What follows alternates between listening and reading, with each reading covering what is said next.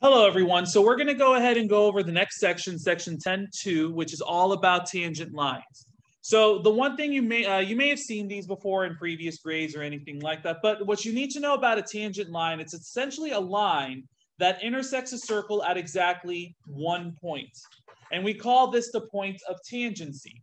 So you notice over here, we have this tangent line on this circle. It kind of crosses the circle at only one point right there. If you think about any other kind of line, um, you know, for a circle or that crosses a circle, let me just give you an example here on a sticky note. Here you have a line, right, that crosses the circle. But notice how this, this crosses two points on the circle. Here you have another line, crosses the circle, but it crosses two points on the circle. What makes tangent lines very uh, unique is that they only cross the circle at one point. That's an example of a tangent line. Here's another example of a tangent line. Here's another example of a tangent line, right? So, and really, really, uh, it, it's they're easy to spot because a tangent line on a circle, essentially what it looks like, it just looks like it's just kind of like a line that's touching the edge of the circle, right? Or kind of like a line laying on top of the circle, or just kind of like, like I said, just along the edge of the circle. So they're really easy to spot when you see them in problems. So and that's what we have to understand about a tangent line. And then, of course, that single point that it crosses, we call this the point of tangency. All right, uh, we already have it right there. So now the uh, the now the main property you have to understand about tangent lines is that a line that is tangent to its uh, is a line is tangent to a circle if and only if it is perpendicular. So perpendicular to a radius drawn on the point of tangency. So if you think about it, if I look at my circle, right? Well, we understand that the radius is really just from the center to any point on the circle, right? If I were to connect my radius to any of these points of tangencies, right?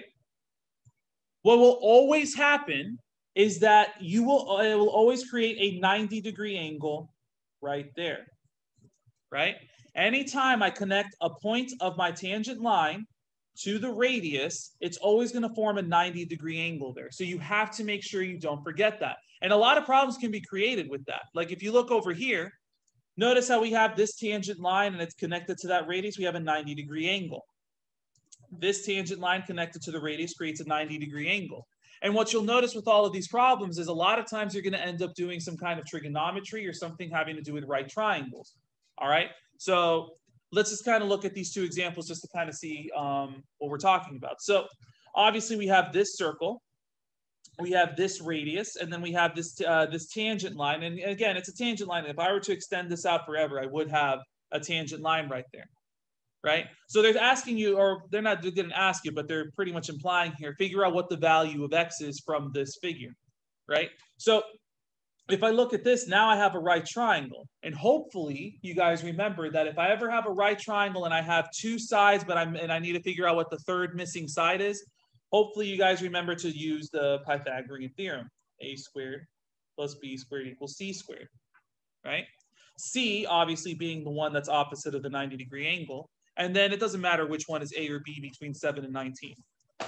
So when I go ahead and set up my formula, A squared plus B squared equals C squared, I'm going to go ahead and figure out what my value of x is. So I have 7 squared plus 19 squared is equal to c squared. So I know that this is 49. I know that 19 squared, grab my calculator. I know that 19 squared is 361 is equal to c squared. So when I add, so now when I when I add these two values together plus 49, I get 410 is equal to c squared. So now if I want to get c by itself, I just take the square root of both sides, and I finally get that c is equal to 20.2, let's do two decimal places, 25, right? 20.25. All right.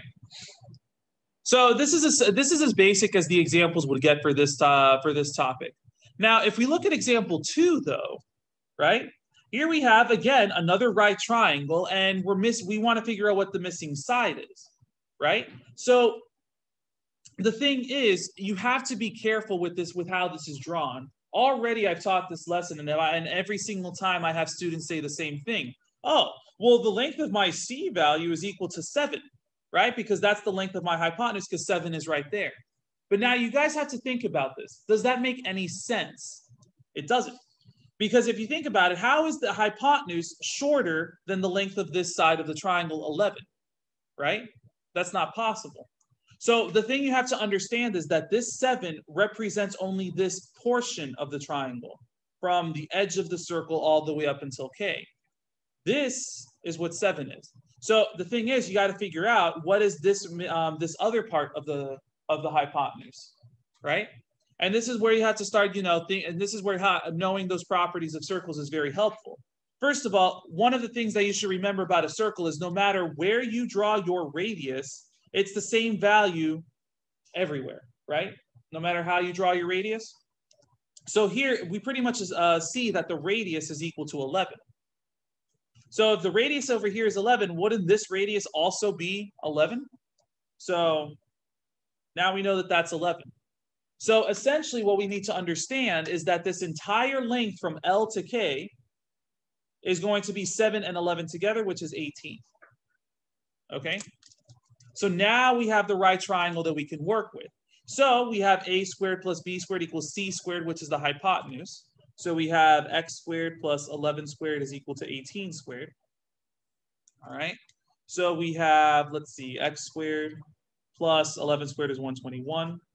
18 squared, see, that's 324, right? So if I get x squared by itself, I subtract 121 from both sides. So minus 121 oh, is equal to 203. Square root both sides. And we finally get x is equal to 14.25. Okay. Good. So again, be mindful of that and make sure that it just kind of makes sense. The, they didn't give you the entire length of that hypotenuse. They only gave you a piece of it, and the other piece you can figure out by understanding that it's the same as the radius. All right, so let's so if we turn the page around. Now, this is a more complicated version of the problem. This is where we really have to dig deep into our algebra knowledge. All right. So first of all, again, we have another situation where it doesn't make sense. We have 90 degrees there because the radius connected with the tangent line is 90 degrees. So we have a right triangle here, but it does not make sense for the hypotenuse to be 10 if one of the legs is 20, right?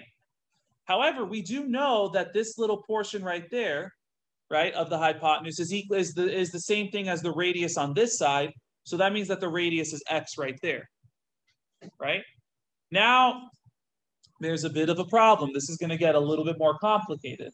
Because now if I did a squared plus b squared equals c squared, well, c is no longer just a nice, easy number to work with. It's actually going to be an algebraic expression of x plus 10. So when we set this up, all right, and this is for my for my geometry regular students, I'm probably not going to include anything like this on a test, or we wouldn't include anything like this on a test. But for the honors kids, for sure, you're going to see something like this. So when I set up my Pythagorean theorem, I'm going to have x squared plus tw uh, 20 squared, x squared plus 20 squared is equal to x plus 10 squared. Okay. And so now we go ahead and work this out. So we have x squared plus 20 squared is 400. And now with this, the most common mistake that I see, even, even with the calculus students, is that people say, oh, well, can I distribute the exponent inside of both of those terms on the inside and it's x squared plus 100? No, you cannot do that. Whenever you have an expression raised to a power, you need to expand this out as x plus 10 times x plus 10, right? And now, and there's that famous phrase that we probably all hate is FOIL. So we got to remember to FOIL this now. So we get the first terms, multiply them, outer terms plus 10x, inner terms plus another 10x, and then the last term plus 100, right? So really, x plus 10 squared is actually going to be x squared plus, then I combine the middle terms, 20x plus 100. All right? And sure, you know, whenever you want to solve a quadratic equation, you got to get all of your terms on one side set it equal to zero. But this one's simple enough because if you if you just subtract x squared from both sides, right? They'll cancel out and you don't have to now it's now it's just a linear algebra equation that you have to solve for so then this becomes 400 down here is equal to 20x plus 100 right? So now what you're going to do is you're going to go ahead and subtract 100 from both sides. So you get 300 is equal to 20x. Divide both sides by 20. And finally, you get that x is equal to 15. All right. And it works itself out nicely. Luckily, this is one of those problems where we don't have to like factor and solve for two variables of L or two values of X. This is just straightforward and you only have your X value to be 15. All right. Again, this is a much more advanced version of these problems that, um, that you'll see. Now, for example four and example five, right? That kind of ties into this, uh, to the second part of the notes. So it says over here, if you have two segments from the same external point that are tangent to the circle, then they are congruent. All right. So essentially what they're saying is this. If I were to get any circle, right, let me just draw a little circle here. And I drew a tangent line, maybe like this. Uh, just pretend that's touching the circle. If I were to get any other tangent line, let me, uh, you know, whether maybe like over here somewhere, like that. If I extended these tangent lines out completely, they'll probably intersect at a point out there, right? That's just going to happen. Anytime you have two lines that are not that are not parallel, they will extend out and they will intersect at some point. What you need to understand is when that happens, the um, the distance between that point of the point of tangency of both for both of them and that point that they intersect, that this side is going to be the same as that side. And that's what they're saying in these notes, right? If you have two tangent lines, which you know these are tangent because they form a, a 90 degree angle with the radius, if you have two tangent lines that they uh, go over here and connect to a point out there, then this segment AB is congruent to segment CB, right? So that kind of that kind of helps make these problems um, really simple to answer. So right here, you have two tangent lines, and I'm you know another thing, you know, they're tangent lines because if I connect the radius to both of them, they form 90 degrees, right? A lot of times they'll show that in the problem, but you're just that's just assumed in this problem. So they're saying find the length of PQ. Well, again, you know that this side is going to be congruent to that side. And when two things are congruent in math, we can mathematically set them equal to each other. So I have 14x minus 13 is equal to 8x plus 5. Right? And now we just turn this from a geometry problem to an algebra problem. I subtract 8x from both sides. I'm going to add 13 to both sides at the same time. And now I just have 6x is equal to 18 divided by 6, x equals 3. Right? Now, of course, you got to be mindful. They're not asking for the value of x. What they're asking for is the length of PQ. So now we're going to go ahead and plug x equals 3 into our um, PQ expression. So we know that PQ is equal to 14x, which we now know is 3, minus 13. And when we work this out, this becomes 42 minus 13, which is 29. And that's our answer. All right. And then finally, really the last thing you need to know about tangent lines, at least in this class and for the FSA, is this right here. It says over here, if a polygon is circumscribed around a circle, then all sides are tangent, right? So you can just kind of see, like you have a circle over here, and if you try to draw a, like a, any sort of like, you know, polygon where the circle fits in there perfectly, then all of these sides of the polygon are tangent to that circle, right? You can just visually see that right there in front of you. Now, the but the main property you have to understand about this, right, is that don't you pretty much have like the same situation here, but like in three different locations? Tangent line, tangent line connects to a point. Does that mean that this side is the same as that side? Same thing over here. Another tangent line connected with another tangent line. That makes this side the same as that side. And same thing over here, tangent line and tangent line that kind of like, you know, meet at some point, uh, some external point out here. This line is going to be the same value as that line, right? So you can actually, the, the FSA will, of course, find some way of asking you this style of question. So if I look at this uh, at example five, they're saying find the perimeter of this triangle out here. Well, you see the situation where you have a circle kind of like inside of this and it's um, the triangle is circumscribed around that circle. And you have like, you know, these, all of these are tangent points or points of tangency.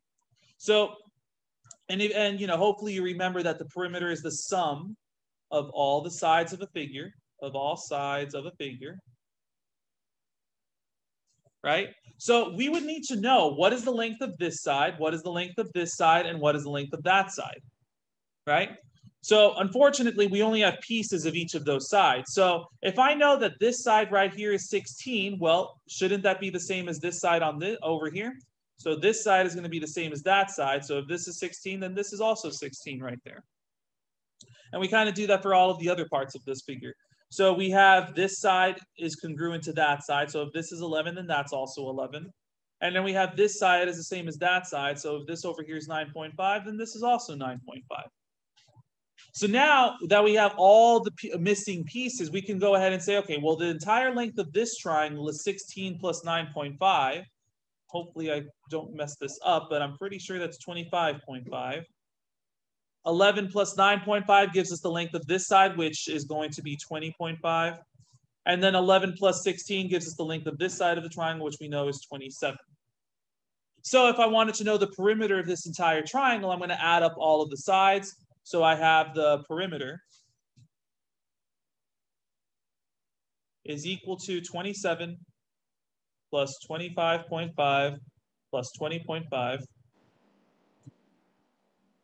Uh, let's see, I know that these two pretty much give me 46. 46 plus 27 is 73. All right. So there you go. That's pretty much all you would need to know for um, tangent lines of a circle. Of course, if you have any questions, feel free to ask any of your teachers or me or whoever's around. We'll be more than happy to help you. Take care. Good luck.